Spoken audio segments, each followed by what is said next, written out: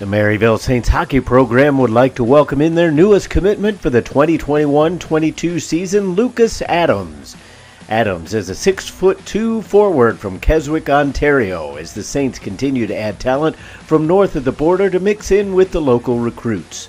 Adams spent the last three seasons with the Blind River Beavers of the NOJHL, where he amassed 29 goals and 87 points. Adams spent 2020 21 as the captain of the Beavers after being an alternate captain the prior season. Adams possesses tremendous scoring ability while being responsible in his own zone, fitting in with the current Maryville Saints style.